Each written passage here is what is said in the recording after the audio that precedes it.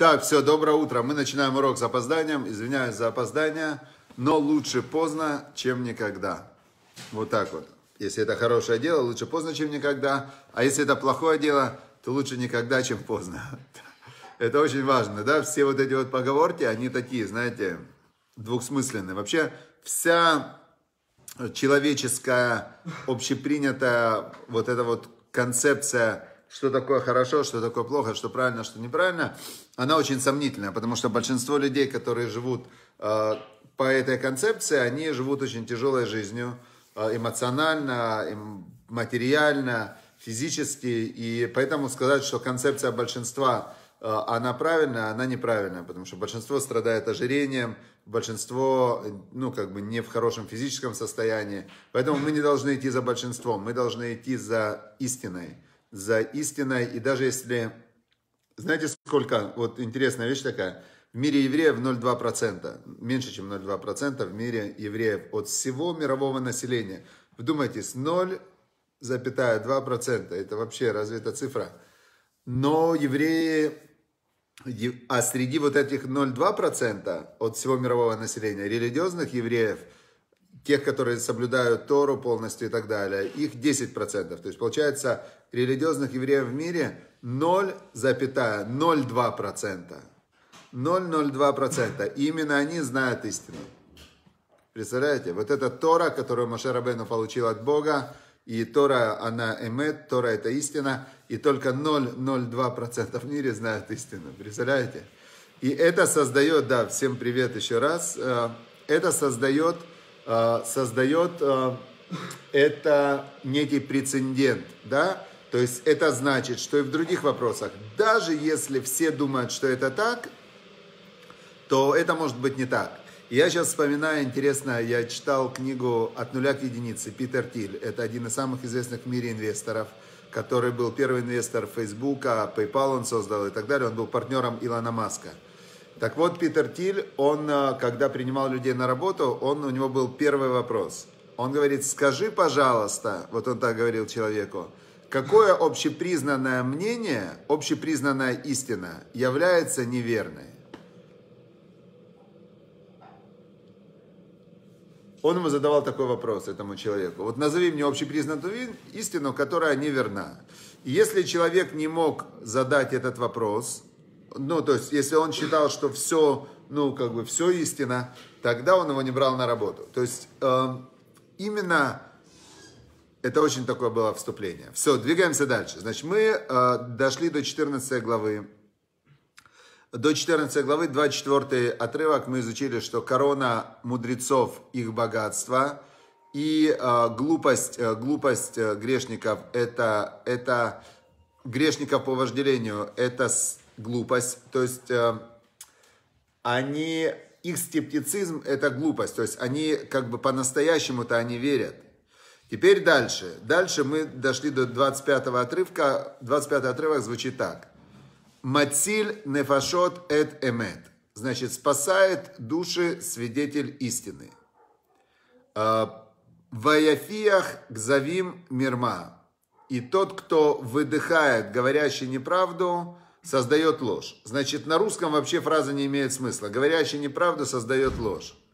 А, спасает души свидетель истины. Очень странная вещь. Давайте рассмотрим ситуацию. Значит, есть э, по, по Торе, по Торе Бог написал, что есть э, определенное количество преступлений, за которые человека надо убить. Добрый Бог, э, который любовь, который сотворил весь мир, который всем хочет сделать только добро. И он сказал, что за вот эти вот преступления смертная казнь. Очень странно, очень странно.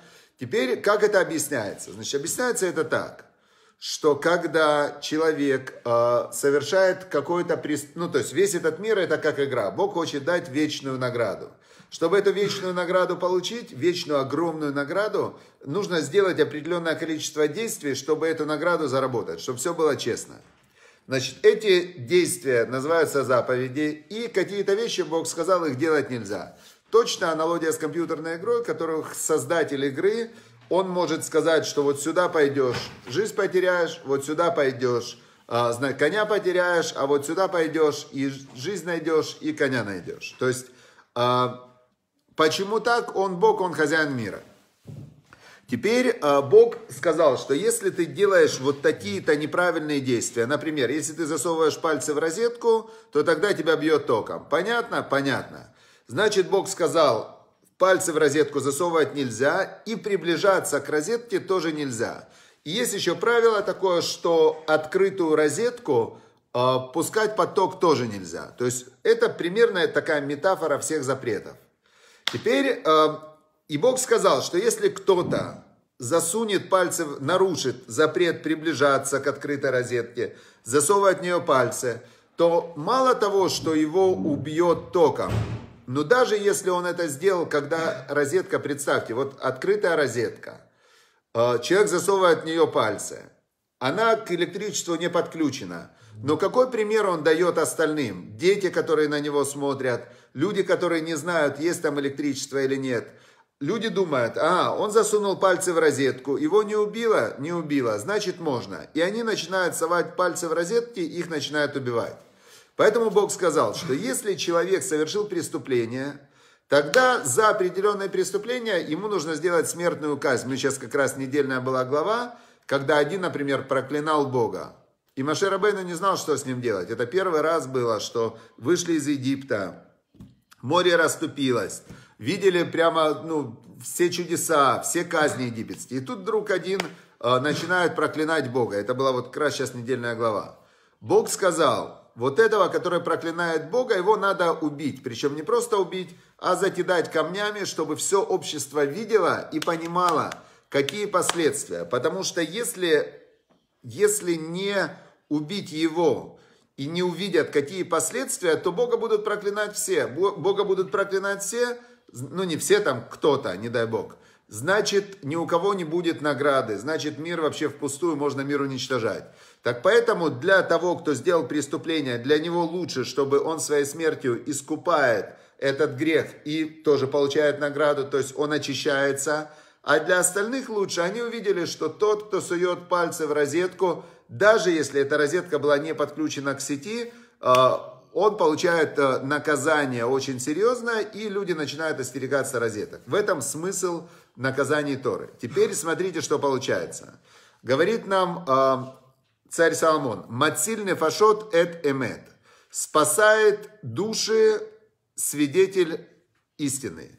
Если человек является, он видит преступление, должен ли он рассказать или не должен рассказать? С одной стороны, если он сейчас пойдет в полицию и скажет, я видел преступление, я видел, что там Вася убил Петю, то тогда Васю поймают и тоже убьют, его казнят, допустим, в стране, где есть смертная казнь. И сидит этот свидетель и думает – что же мне делать? Как же мне быть? Все равно Вася уже убил Петю. Значит, теперь, если я скажу, что я, э, что Вася убил Петю, я единственный свидетель. Значит, Васю тоже убьют. Петю-то это не спасет? Не спасет. Значит, э, я, получается, стану причиной смерти Васи. Можно делать или нельзя? Обычный человек, он будет в дилемме. Он будет в дилемме, он не знаю, может надо брать на себя, не брать на себя. Теперь тот, кто учил э, притчи царя Соломона, он читает 25 отрывок 14 главы. Ему все понятно. Спасает души свидетель истины. Значит, он кого спасает? А Вася может завтра не только... Он вчера Петю убил, а завтра он пойдет убивать дальше.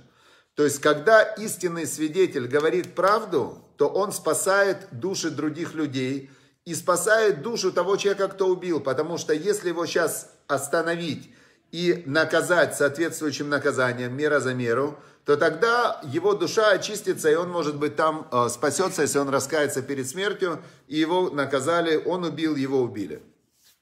Но если свидетель истины, который видел преступление, он себе начнет выдумывать свои правила. Как выдумывали свои правила, которые спасали нацистских преступников, были э, священники католической церкви, которые спасали нацистов, которые просто были садисты, которые своими руками, этот Менделе был, и Махшмов, и Зехро, нацистов спасали католические священники, которых переправляли в Южную Америку.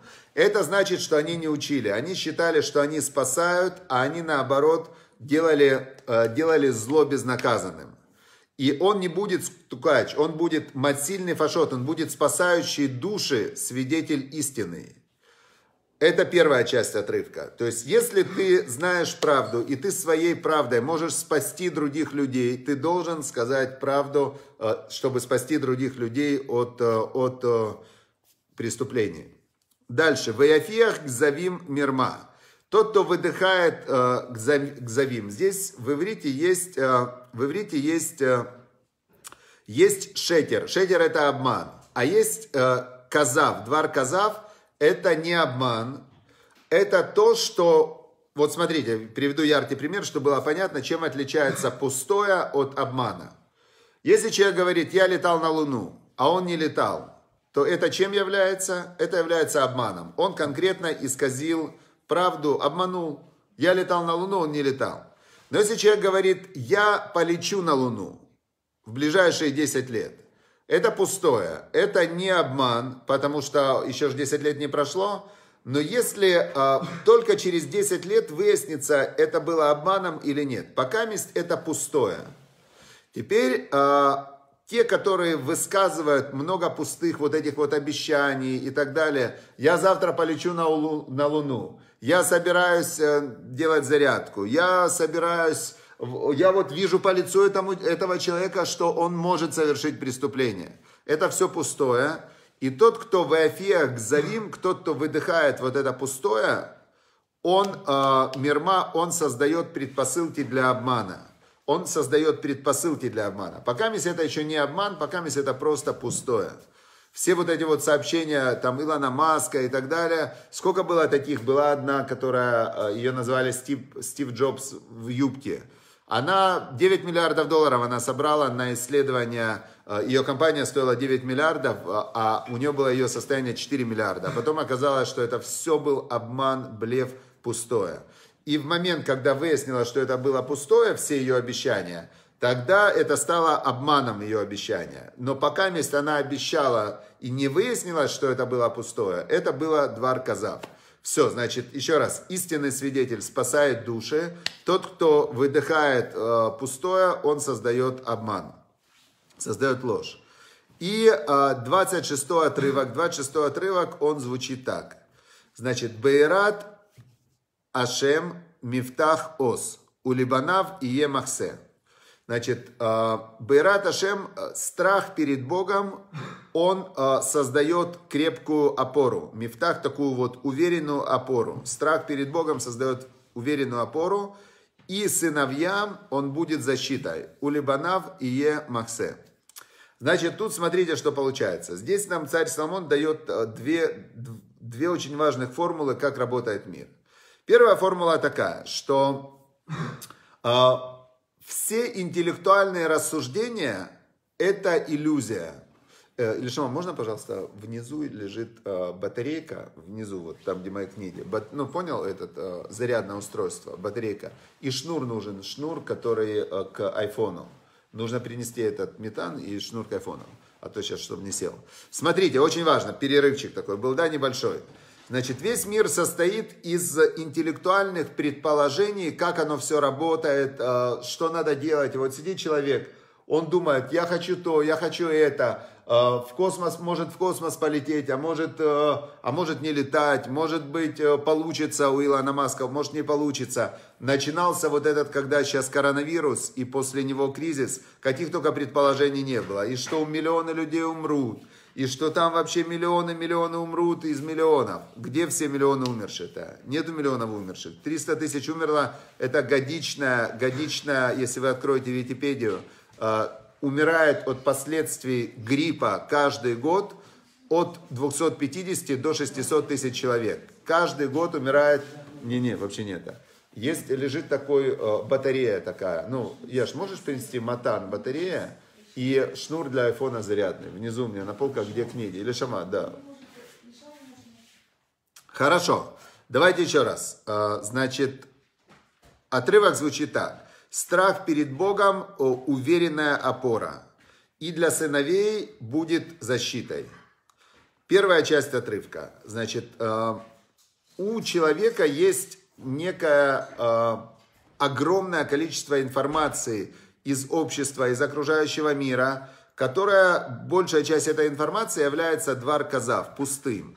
Что значит пустым оно является? Люди высказывают свои мысли, а может так, а может сейчас коронавирус, а ту, эти умрут, эти не умрут, эти, значит, будет так, а может будет по-другому и так далее. То есть люди а, обмениваются пустыми, это называется двар казав, пустыми вещами.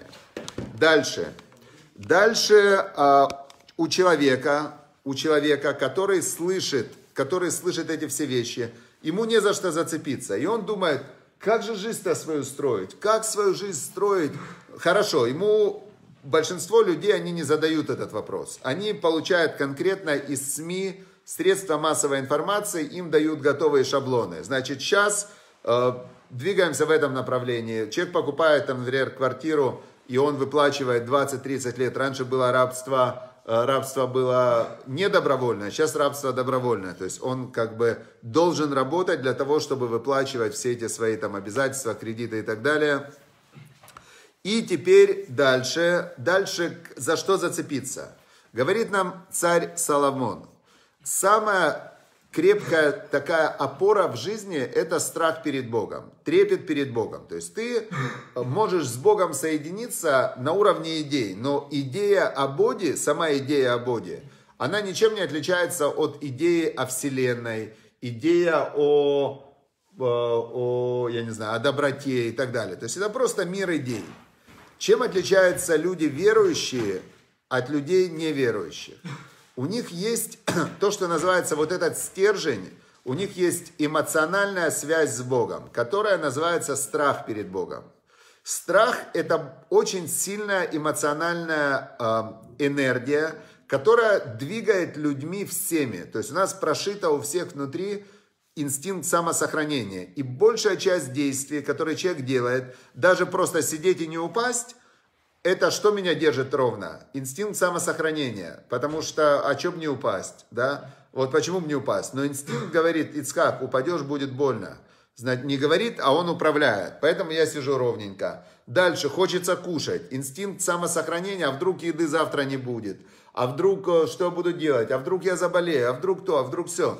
Человек женится из-за этого и так далее. То есть страх, он рулит человеком. Очень сильно внутри такая прошитая энергия и э, побудительный мотив многих действий. Теперь говорит нам царь Соломон, хочешь в жизни крепкую опору, именно опору, на которую потом одевается любое знание, любые решения, любые действия. Бойся Бога. Хочешь кого-то бояться, бойся хозяина мира, который миром управляет, который дает тебе завтрашний день. И когда ты боишься Бога, тогда ты на эту опору начинаешь соблюдать его заповеди, тогда ты начинаешь слышать и слушать, слушать и слышать. Э, Тора это учение, которое говорит о том, что Бог от нас хочет и так далее. То есть страх перед Богом является вот этим вот фундаментом и краеугольным камнем, на котором можно построить все остальное. Личность человека, э, устремления, цели, планы, правила, принципы и так далее. Но нужен вот этот вот стержень. То есть как штифт, когда зубы, ты одевают зубы, в десну впиливают штифтик такой, и на этот штифт одевают зубы. Если ты садишь дерево, если корней нету, дерево оно упадет. Но если есть у тебя корни, то дерево будет стоять.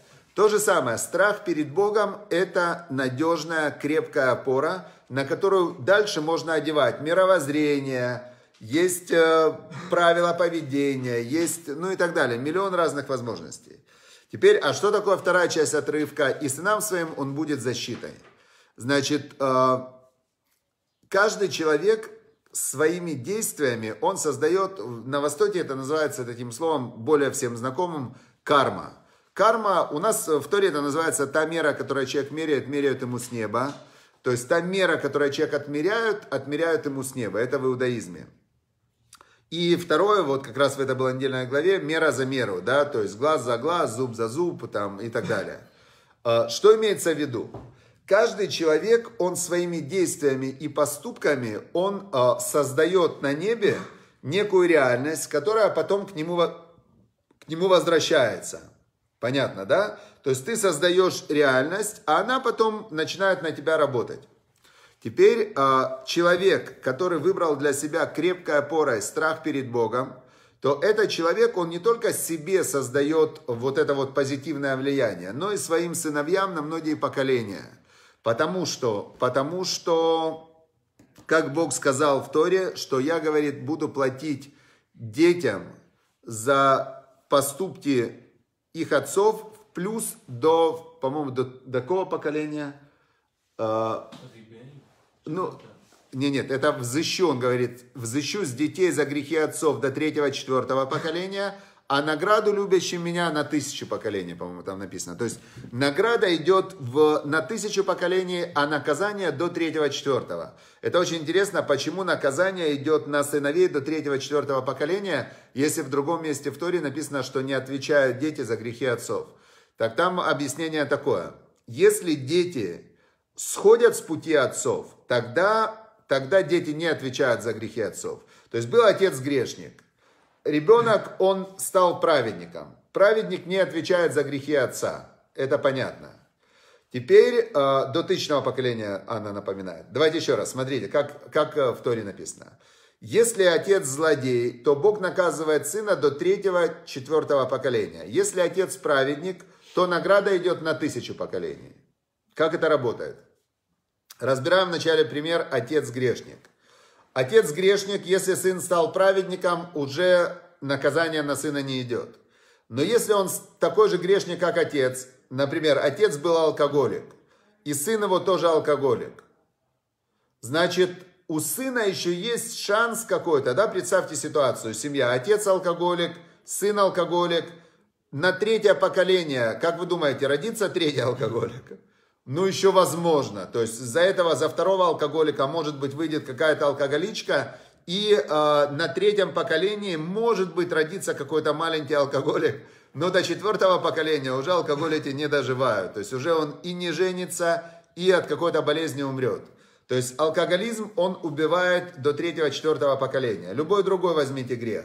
Отец стал, э, там, э, подумал, что жить женщинами не обязательно. Все, значит, на одно поколение уже второго поколения не будет. Отец э, ворует. Значит, если он ворует, то рано или поздно его поймают. Может быть, у него сын родится. Сын тоже стал воровать. Может быть, у сына родится третий сын, который тоже ворует, но уже в тюрьме-то, представьте, три поколения преступников. Уже, скорее всего, там оно как-то прерывается. Поэтому Значит, это мы разъяснили принцип, что наказывают детей за грехи отцов до третьего-четвертого поколения, но в любом поколении, если сын становится праведником и не повторяет грех отца, тогда он выходит из этой петли. Теперь, но в этом отрывке написано, что будет защитой для детей. Так теперь тот, кто нашел свой этот стержень, страх перед Богом, и он на базе этого стержня совершает все свои выборы – в этот момент он не только себе каждым своим правильным действием создает защиту, но и своим детям на тысячу поколений. Понятно, да? Все, вот я даже сегодня, сейчас я ехал, чуть опаздывал, но я думал, если бы я Мишли не учил, на базе каких принципов я бы принимал решения? По-любому были бы какие-то принципы, были бы какие-то правила. То есть люди, они все время ищут какую-то идеологию, как правильно действовать. Но я вот могу сказать, это моя профессия, искать схемы мышления и схемы действий. Но Тора, конечно, превыше всего. То есть это Бог, Создатель мира, рассказал, как все работает. И, а, конечно, ну, опять же, если нету страха перед Богом, тогда человек выбирает только свое удовольствие. И он будет, его главным принципом является что? Краткосрочная перспектива. Вот я прямо сейчас хочу кайфануть, а там что дальше будет, неважно, будет, не будет и так далее. Но тот человек, который э, хочет в долгосрочной перспективе, в вечной перспективе жить хорошо, пожалуйста, только Тора, страх перед Богом, крепкая опора. Все, спасибо царю Соломону за то, что нам передал притчи Мишли, и спасибо всем вам, что вы их изучаете, благодаря тому, что вы приходите на уроки. У меня есть, э, есть у меня большая мотивация к ним готовиться. И с Божьей помощью, вот мы уже подошли, 14 глава, всего 31 глава в Мишле, мы с Божьей помощью закончим. Дамир партнер, всего хорошего тоже, Анна Кравцова, все, амин, брахот, всем брахот, все, счастливо, всем пока.